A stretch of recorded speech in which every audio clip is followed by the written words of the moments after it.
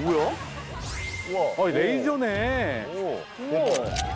아, 요새는 뭐 이거 최첨단이네. 엄청 잘 나온다.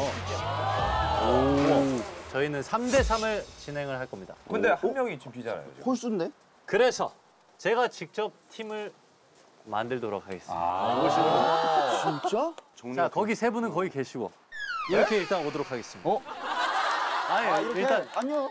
제가 좋을 수 있어. 이 한 분을 한번 모시고 싶어요. 왜냐면 진짜 잘하실 것 같아요. 바로 우리 PD님, 우리 승민 PD님. 아니 너무 고민 안 하시는 거 아니에요? 진짜 이런 말 하긴 싫지만 양땡땡 같다 정말.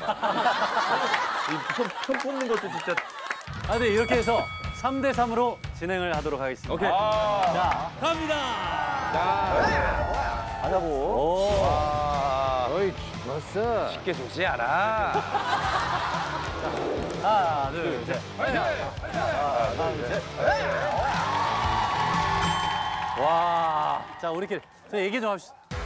자, 봐요. 우리가 여기인데 여기 바로 앞에 이게 있고 자, 여기는 입구가 딱 두 개예요. 가운데 통로 우측. 그러니까 한 명은 여기 안쪽에 왼쪽에 모서리가 막혀 있는 데가 있어요. 여기 하나 하고 여기 바로 앞에. 여기 바로 앞에. 어.